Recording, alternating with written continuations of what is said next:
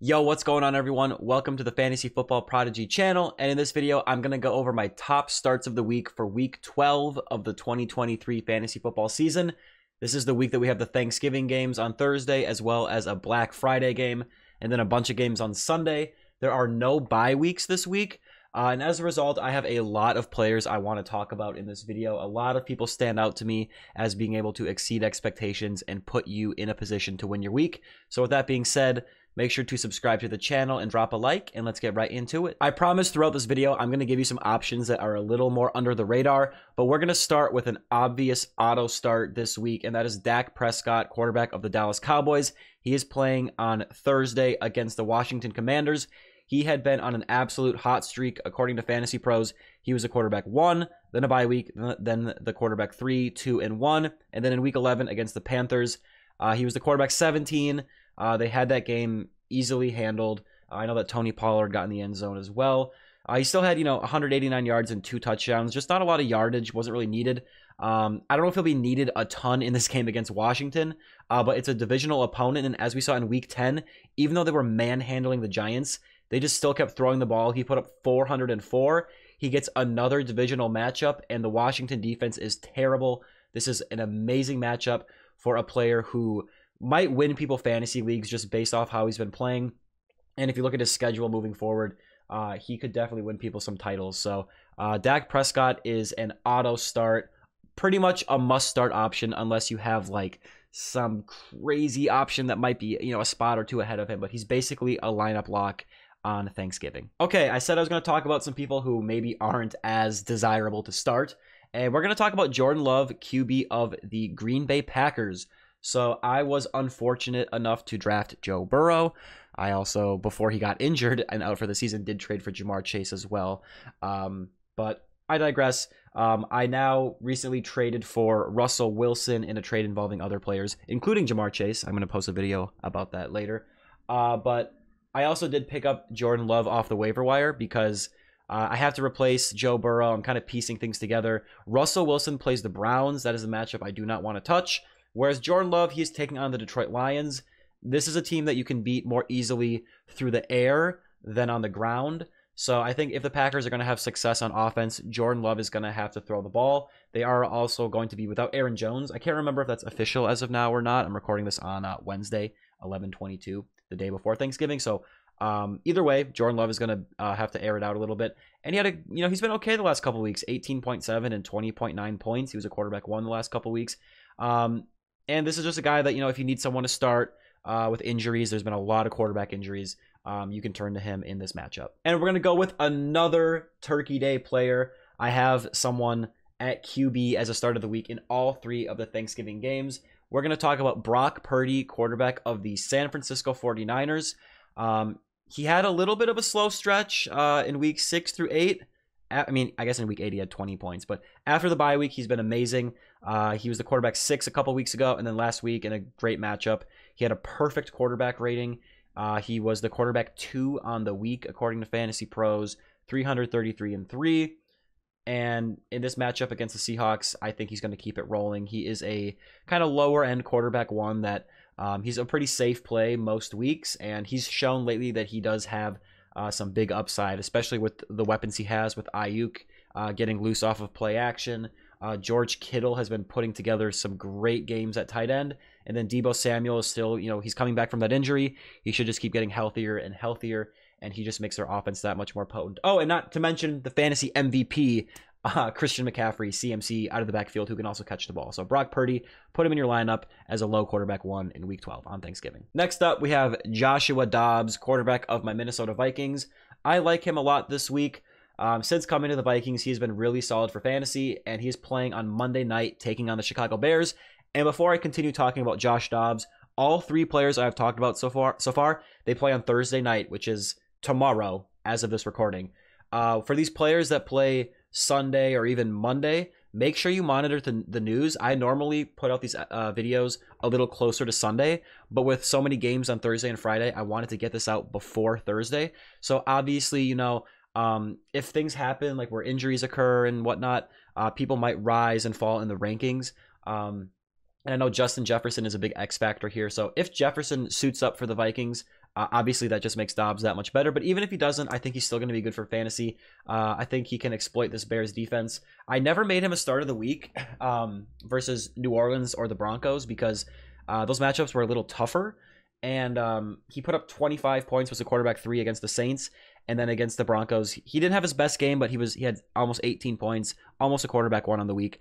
Now he gets a better matchup with the Bears. I think uh, he can you know put up points in this game and he uses his legs.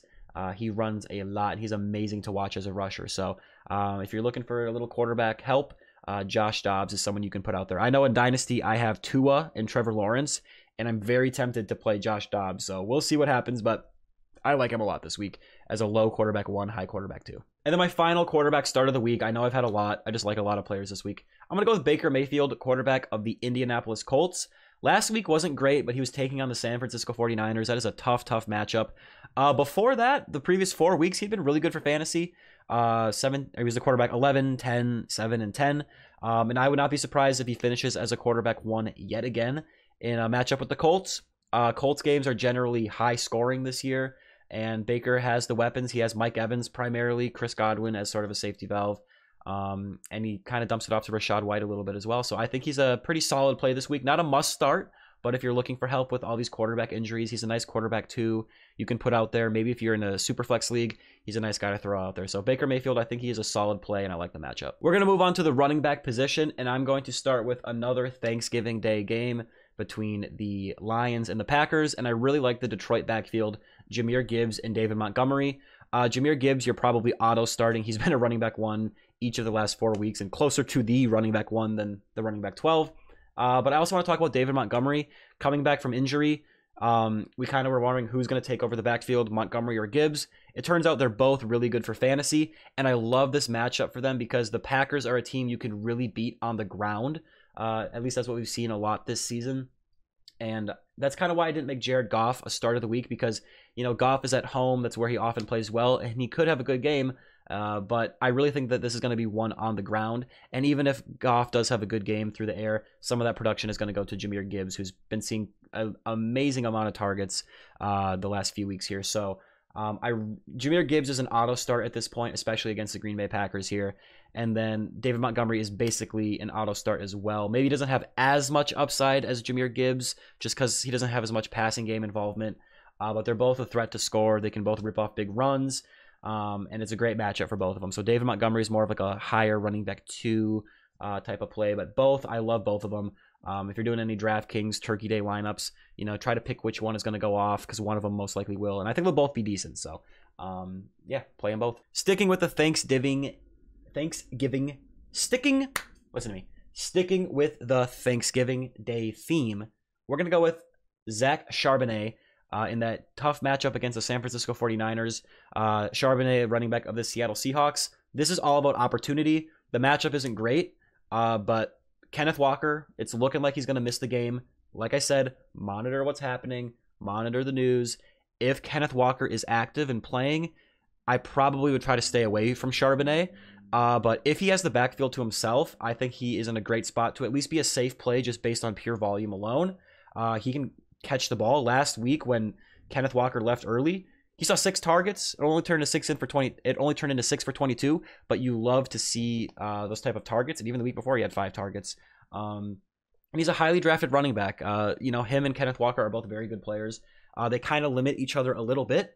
But in my league, in one of my leagues where I have Ken Walker, um, I also have Zach Charbonnet, and I actually traded Ken Walker like the like right before the injury. So it kind of worked out. Ken Walker should be back. It shouldn't be like a season-ending injury, but um, it kind of worked out where now I have Zach Charbonnet. I can throw out there as a, a he's kind of like a flex option, but you don't want to put him in your flex. You want to put him at running back because he's playing on that Thursday night game. You know what I'm saying? Because you if you have a player that's playing on Sunday or Monday, put him in your flex.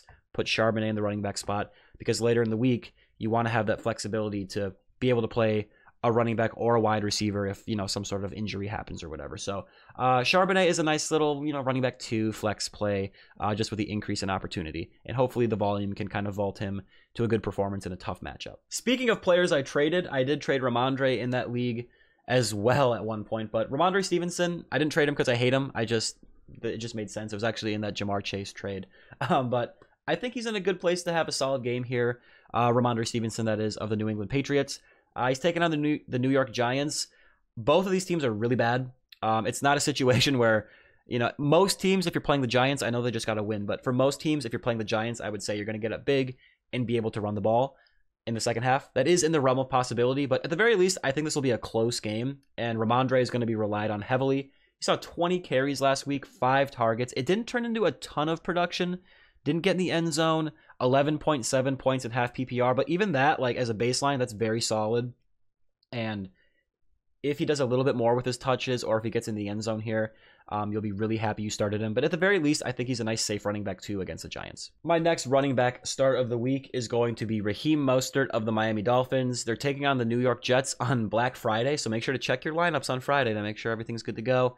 Um, but it looks as it looks like as of this recording that De'Von Achane he kind of got re-injured last week coming off of that injury and it's he's probably going to be out. It, it, actually we don't really know for sure. Like there's no been no solid report that i've heard lately. Uh, i've heard he might play he might not play. Uh, but either way i think raheem mostert is a solid running back to play with upside against the jets. Um, not only is the jets you know they're not the worst matchup for uh, running backs but also they are starting tim boyle this week. Um, they're going off of Zach Wilson to Tim Boyle. They're they're both not good uh, at the NFL level. Uh, but either way, whoever starts, the Dolphins should be in control of this game, and Raheem Mostert should see plenty of volume on the ground, especially as they have this game in control, which I think most people are projecting to be the case. He saw 22 carries last week. Um, finished with 9.8 points. Not what we hoped, but pretty pretty solid still. So I'm thinking at the least he'll at least do that much. And if he rips off a big run or gets in the end zone or is a little more involved in the passing game, then you'll be especially happy you started him. But I really like him as a running back too with upside on Black Friday. We're going back to that Colts and Buccaneers game that I am targeting this week, and that is Rachaad White, Tampa Bay Buccaneers running back. He's another one of my starts of the week. He's actually been really great for fantasy. Uh, weeks one through four before the bye week, he had one good game in there where he was a running back nine. But after the bye week, he had one bad game, and since there, he's been the running back 16, 11, 1, 12, and 14 and half PPR, always over double digits. He saw he's seen six, seven, four, three, and seven targets. Um, he's just very involved in this offense. Last week, it was a tough matchup, and he still finished with 14.8 points in half PPR, only nine for 30 on the ground, but he fell in the end zone. And um, he also had seven targets, which turned into six for 28. But if you're in a PPR scoring format, that's going to accumulate and help you out. Week 12, it's a better matchup. I expect this to be a high scoring game. There are players on both sides that I like a lot, and Rachaad White is one of them. I like him as a nice high end running back to play in week 12 against the Colts. And my oh my, how things have changed. Derrick Henry is no longer an auto start must play option. You know, it's kind of like if I were to play, if I were to say, hey, start Christian McCaffrey, you'd probably click off of the video because it's like, why am I watching this? You know to do that. But Derrick Henry is at that point in his career. He has had such an up and down year. He has shown glimpses of the past where he can take a ton of work on the ground and churn out a bunch of big runs and get in the end zone. But uh, when the Titans are down, they're using uh, Tyjae Spears in the backfield as well in the passing game. It's a little bit more of a split. But in week 12, I think this is a Derrick Henry game for a couple reasons. One, he's taking on the Carolina Panthers, who are a great, one of the best, if not the best matchup for running backs in all of fantasy. I made Tony Pollard start of the week last week. He's had a very disappointing season, and even he had a good game against them. Um, they just give it up to running backs uh, to the point where, you know, as we saw with Dak Prescott, like I was saying, they didn't really need to air it out too much because uh, they got some work done on the ground, threw a couple touchdowns, and the game was over. Um, the Titans are a much worse team than the Cowboys. Uh, but at the very least, I think this game will be competitive. And who knows, the Titans might even be able to get a lead and give Henry the rock uh, to kind of ice the game at the end. Um, but it's a great matchup. And with the potential game script, being the game script is the second reason I was talking about as to why Derrick Henry might be a good play.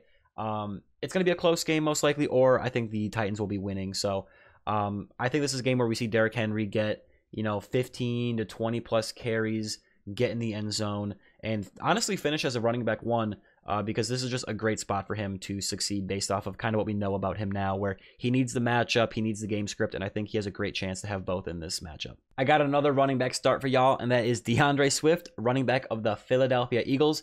He was one of those players where I just wasn't going to draft him no matter what during the draft season, and he has he's been really great for fantasy, one of the better values. I feel like people don't talk about him enough, honestly.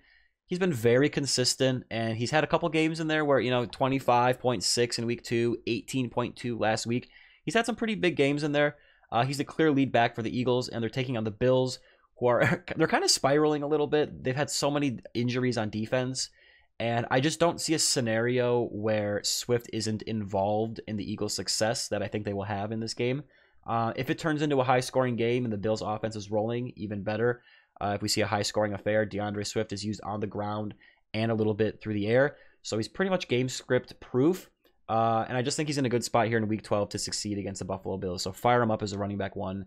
A very safe running back one. Every single game he's been in, in double digits except for week one, where he only saw one carry and one catch. And in week seven, he had nine points.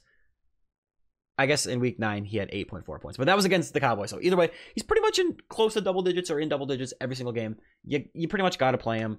Um, it's it's a good spot for him in week 12, and you got to get him in your lineup if you want to win your if you want to win your week, and I know you do, so put him out there. All right, I swear this is my last running back start of the week. I know I've had a lot. This is the final one, LG, and it's a big one though. It's Kyren Williams, running back of the LA Rams. It's looking like he's back, and he's going to be the clear lead back for the Rams. Uh, since he's been injured, Darrell Henderson and Royce Freeman have kind of been a nice little tandem for the Rams, and they've actually had some success uh, in their own at various points since Kyren has been gone. Now that Kyren is back, I think he's going to be the clear lead running back here. Um, he had a bye week in there uh, during his stint of injury. They held him out one more week after that. Week 12, he should be healthy. Maybe he won't be like he won't see like as much work as he would if he was 100% not coming off an injury, but I still think he's going to be the clear lead running back here. Um, oh, and did I mention he's taking on the Arizona Cardinals? When we last saw Kyren Williams, he was taking on this same defense. He put up 20 for 158 and one on the ground. Didn't even have a target or a catch, but was still the running back two on the week with 21.8 points.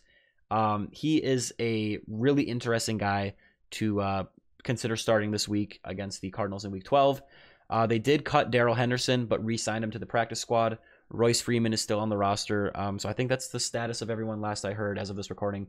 And with that being said, please monitor the news. I'm recording this on Wednesday. This game is on Sunday. That is a lot of time for things to change. If he re aggravates his injury in practice or, or, something, if a report comes out that it's going to be a more of a split than we expect with Kyren and Royce Freeman or whoever, um, you know, then kind of dampen your expectations a little bit. But if he's good to go and he's out there and he's getting touches, he's going to be good for fantasy.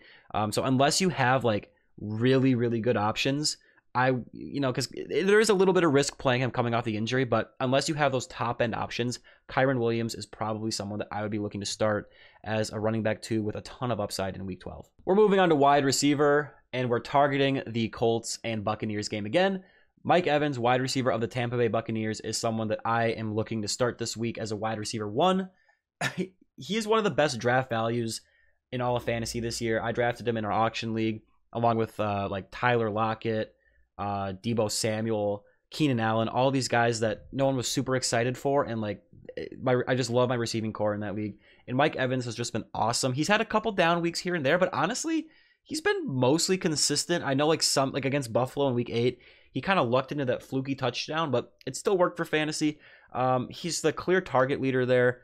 Uh, or the clear wide receiver one. Chris Godwin is seeing some targets as well, but he just has no ceiling. You know, he's pretty much getting 50 yards every week. Mike Evans is the guy where he's probably going to get at least those 50 yards each and every week, but he also has the potential to put up, you know, 171 or 143 or 87 like we've already seen this year.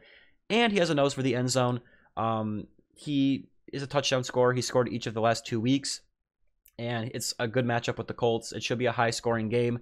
I said I like Baker Mayfield this week, and I like him because he has Mike Evans. I think he's going to get at least one touchdown of Mike Evans, maybe two. We'd love to see it. He hasn't had a multi touchdown game yet this year through the air. Uh, but I am playing him as a wide receiver one this week and would not be shocked if this man gets in the end zone and helps you win your week. So put him out there. And remember all that stuff I said about, you know, I'm recording this on Wednesday, see what's happening closer to Sunday to make sure if what I'm saying is still accurate. Uh, that applies a lot to Puka Nacua. Uh, since Cooper Kupp has been back, it, it's been a weird season for the Rams offense. Like when Stafford was healthy and Puka was the guy, Puka was the guy. Then we had Stafford get hurt. We've had Coop come back, or Cooper, Coop, Cooper Kupp come back. And that's all to say. Puka Nacua has had his ups and downs, but in week 12 against the Arizona Cardinals, if Cooper Kupp is out, you play Puka Nacua, okay? I think both could do well in this matchup if Cooper Kupp ends up playing, uh, but I really like him a ton if Cooper Kupp is out, okay? Um, you can still play Puka if Kupp plays, but I, I would limit my expectations a little bit. If he's the guy and Stafford is healthy and good to go, um, I think this is a matchup where he can find a lot of success. Uh, last week he was five for 70 and a touchdown. He had, even had a carry for seven yards. So put up 16.2 points in half PPR, was a wide receiver 13. I'm expecting more of that Puka Nacua in this game. So monitor what's going on, see if Cooper Kupp is playing, or if he plays, if he's going to be limited, what the situation is. But uh, there's definitely some fantasy goodness to be juiced out of Puka Nacua here in week 12 against the Cardinals. Next up, we got Adam Thielen, wide receiver of the Panthers. We saw him start so hot to begin the year. He's cooled off a little bit, but he's still seen, since his bye week in week 7, he's seen 11, 6, 10, and 11 targets. It's turned into 72, 29, 42, and 74 yards. Um, he hasn't finished better than the wide receiver 24 since then, but he's had a couple games with 11.2 and 11.4. The other games were in single digits. Um, he just isn't putting up those monster games that we saw to start the year, uh, mostly because he hasn't gotten in the end zone. Uh, but I still think this is someone you can play as a wide receiver too, uh, just because of the matchup and the target volume that he is seeing. Um, he's playing the Tennessee Titans. They give up production through the air. And I think that this is a game where he can just find success sort of in a PPR setting. And we could see him get back to having a big game. He is a little bit older. So is this a case where the wheels are falling off and he's slowing down kind of later in the year? Or does he still have it? He's still putting, he still had a couple games with, you know, 70 plus yards here since the bye week. So I think things will kind of even out a little bit. We might not see him putting up, you know, 11 for 145 and a touchdown like we did in week three. Uh, but I still think he has some good games left this year, and I think this will be one of them in week 12 against the Titans. Oh, and you thought I was done talking about the Colts and Buccaneers game? You really thought I was done? That's crazy. Uh, I got another guy to talk about, and that's Michael Pittman Jr., wide receiver of the Indianapolis Colts. He's been pretty solid this year, uh, just very consistent. He's been in double digits weeks six through 10. They're coming off their bye week and they're taking on the Tampa Bay Buccaneers. They have a dreadful secondary. He is an extremely safe play this week. Uh, he is the lead wide receiver there. It's pretty obvious. Um, they got Josh Downs there as well. That's the guy you could throw in your lineup. But Michael Pittman is the guy. Um, and at the very least, he's a safe guy. As much of a lock for double digits as you can get this week. Uh, and just with the matchup and you know his his own talent and ability, um, if he makes a big play, gets in the end zone, he does have some upside in this game as well. So I'm starting him as a kind of higher wide receiver two play uh, with a nice safe floor in week 12 against the Bucks. And I just I got to talk about Tank Dell. I don't care who he's playing. Uh, he is taking on the Jacksonville Jaguars, which uh, whatever, that's fine. Uh, but Tank Dell, wide receiver of the Houston Texans, you got to play him. He's been amazing the last few weeks. Um, I was kind of hinting that I trade I made a trade involving like Ja'Marr Chase and uh, and Kenneth Walker. Tank Dell is someone who I did get back in that trade. Um, and he's just been amazing for fantasy. I know there have been some wide receiver injuries where it's like, you know, certain players have been out, and that just kind of secures Tank Dell's volume in the passing game a little bit more. I just think Tank Dell, what he's shown the last three weeks, uh, six for 114 and two, six for 56 and one, eight for 149 and one. He's been the wide receiver one, 11 and three and half PPR the last three weeks. I don't know how you go away from that. Uh, he's a wide receiver one play with weak winning upside, and he might help people win their leagues. I don't think he's going to quite keep up this 25 point a game type of thing, but he'll have more games like that, I'm sure, this year and throughout his career. And I think he's going to help people win championships, um, especially with those two Tennessee matchups in the playoffs. So I would, I can't imagine you're benching Tank Dell, but this is just your reminder to like, if if you're considering him or even like a Michael Pittman, like someone who like has a safe floor, I would go with Tank Dell just because I'd rather you know I would rather go with the guy who has that week sitting that week winning upside, uh, because he can he can count for two players basically if he goes off. And if it's on your bench, your Thanksgiving weekend is just gonna suck. You're gonna be like, man, why did I not play this amazing athlete who's done nothing but be a flamethrower for fantasy lately? So fire up Tank Dell with a hundred percent confidence in week 12 against the Jags. To round out my wide receiver starts of the week, we're gonna go with the Baltimore Ravens duo of wide receivers. Zay Flowers and Odell Beckham Jr. they both got the questionable tag right now. So, like I said, as Sunday approaches, it's a Sunday night game. So if they're if they're questionable and they might not play, you need a pivot option. But uh, they should be good to go. Um, just make sure they're good to go before you put them in, their, in the lineup back, obviously. Uh, but they haven't been great for fantasy this year. But this all comes down to two things: the Mark Andrews injury and the matchup. So uh, in week one with no Mark Andrews, Zay Flowers saw 10 targets, turned into nine for 78, uh, 13.2 points in half PPR. You like that. Um, after that, he's been pretty disappointing for fantasy. Uh, but I still think he's a talented player, and with no Mark Andrews, there's going to be more targets to go to go around for these wide receivers, and I think Zay Flowers and Odell Beckham are going to be the main beneficiaries of those extra targets to go around that cannot go to Mark Andrews. Um, Isaiah Likely at tight end, he's going to be their new starter. He has shown that he's a talented player, but he's not Mark Andrews. He's not going to command that type of target volume. Um, and Odell Beckham has actually been okay for fantasy the last few weeks 12.1, 10.5, and 13.6 points in half PPR. He saw seven targets in week nine and week 11. Week 10, only two targets, only one catch, but turned into a 40 yard touchdown. Um, and now, like I said, Andrews is out. So I'm expecting more of like a seven target game than a two target game. And they're taking on the Chargers, who are a amazing matchup for wide receivers. We just saw a bunch of Packers receivers, a ton of them, like three or maybe even four of them, put up good games for fantasy. Um, and I'm ex- there's there's going to be passing game production here. So Odell Beckham and Zay Flowers, they're not must start options. Zay Flowers is kind of like a wide receiver two flex play that has upside because he's so talented. He just ah, I just wish they would use him a little better. And then Odell Beckham, just more of like a wide receiver three flex option. Um, hopefully he can make a big play. I am expecting kind of you know seven ish, maybe even more targets in this game. So I like them both as solid options if you're dealing with injuries or whatever. And gobble gobble, you're gonna play George Kittle. We're moving on to tight ends, and George Kittle is someone that I mean I don't know how you turn away from him. Uh, he's had his like highs and his lows. That's kind of been his thing the last couple years, but he's on a high right now. And unless you have like I don't know Hockenson or uh, Travis Kelce, you're probably you should be playing George Kittle against the Seahawks on Turkey Day. He's been a tight end eight, three, two, and one. You can't go up from one, so hopefully he just stays at one. Um, but he's on a heater. You got to play him. Fire up George Kittle in Week 12. And I'm excited to bring up my next guy. That is David Njoku, tight end of the Cleveland Browns. This is a guy I drafted in one of my leagues, and I cut him a few weeks into the year because he was doing nothing for fantasy but he has been uh, amazing since week eight. The last four weeks, the tight end 5, 12, 10, and 7, uh, 15.7, 10.6, 8.8, and 9.1 points in half PPR. And you'll love to see it. He's had 8, 6, 9, and 15 targets. Um, even the week uh, in week 7, he saw 9 targets, turned into 54 yards. He had 7.9 points. That was enough for the tight end 11 on the week. Um, he's had five weeks in a row being a tight end 1. Um, you know, it's amazing to see. And with uh, Dorian, what's in Dorian Finney Thompson, is that his name? At quarterback, he's been kind of looking Njoku's way because those are kind of the throws that are a little closer to the line of scrimmage. And from kind of what I've been hearing about him as a quarterback, that's a little more his speed than throwing it downfield to like Amari Cooper. So last couple weeks, Njoku's seen nine and fifteen targets, and now he's he's taking on the Broncos. He is taking on Vance Joseph's Denver Broncos defense. They give up a ton of points to tight ends. Uh, he's a tight end one play.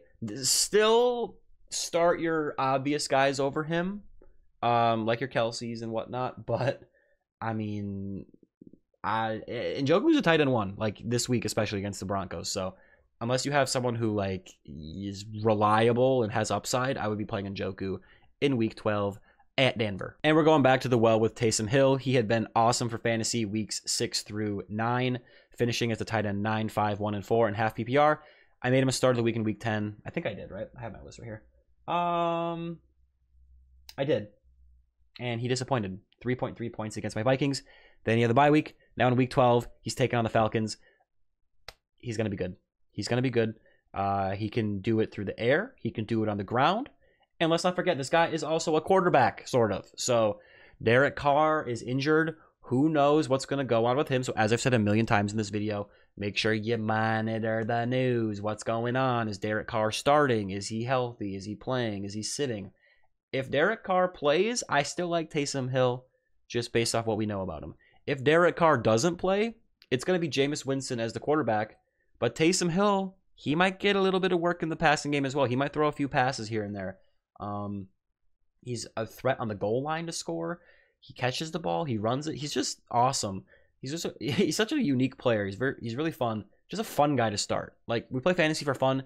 This is someone who's very fun to play uh, in fantasy. He's taking on the Falcons. They're not a good defense. He's had good games against them in the past. So fire him up as a tight end one, and he's always got that Taysom Hill week winning upside. Next up, we got Trey McBride. Since Zach Ertz has been out, he's been really good for fantasy. He's had a couple duds in there, but he's also shown an ability that most tight ends don't have and that is the ability to put up big performances. 20.5 points in week 8 was a tight end 2 in half PPR. 17.1 points in week 10 was a tight end 3. Um, he's kind of been ping ponging. So we had uh, tight, tight end 1 finish, not tight end 1 finish. Tight end 1 finish, not tight end 1 finish. Tight end 1 finish, not tight end 1 finish. And in week 12, he's going to be a tight end 1 against the Rams.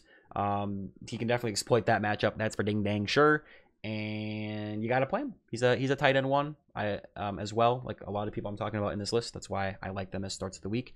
Um, so don't I, don't turn don't just turn away from him just because he had a down week. He still had seven targets, five for 43. It's not great, but for a tight end, unless you have one of those top end guys that you drafted early and are amazing, you're gonna have games like that. So Trey McBride, I'd roll him out there again as a tight end one, a high end tight end one, as a matter of fact. And as long as Dawson Knox us out, Dalton Kincaid is someone that you have to put in your lineup. Since week six, he's been a tight end one or better. I just said tight end one or better. You can't be better than a tight end one. But he's been a tight end one every single week, weeks seven through 11.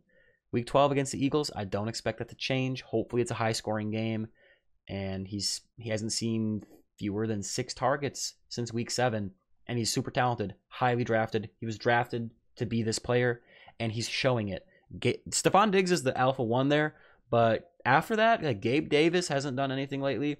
Dalton Kincaid is their new number two. So the Eagles give up points through the air, um, and Kincaid is a good player. So he's a basically a must start. Uh, you're I don't know how you're not starting Dalton Kincaid in week 12 against Eagles. And that's going to do it for this video, everybody. Thank you so much for watching. I really, really appreciate it please make sure to drop a like and subscribe to the channel for more fantasy football content. And I'll talk to you guys later. Peace out.